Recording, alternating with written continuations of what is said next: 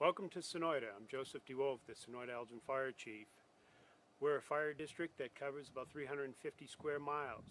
We have about 1,200 residents and we do a lot of uh, motor vehicle accidents, wildland fires. As you can see now, we're green and beautiful and our, our fire season is down, but it will be coming back again. We appreciate community members that work around their homes trimming trees and mowing grass. It's a great place to visit. We have a lot of restaurants, bed and breakfasts, wineries. Come down, see us.